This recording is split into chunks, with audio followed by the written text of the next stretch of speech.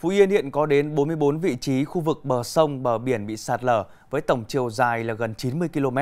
Đây là những địa điểm gần các khu dân cư mà vào mùa mưa bão, người dân luôn phải nơm nớp lo sợ.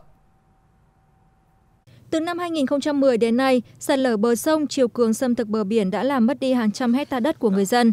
Các vị trí sạt lở được xác định mang tính cục bộ, một số điểm được xử lý bằng nguồn kinh phí hạn hẹp nên không thể giải quyết triệt để về lâu dài.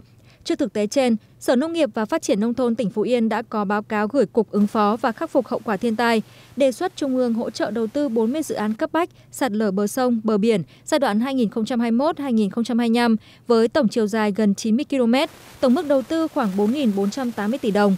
Trong 40 dự án cấp bách nói trên, có chín dự án được phân loại tình hình sạt lở đặc biệt nghiêm trọng.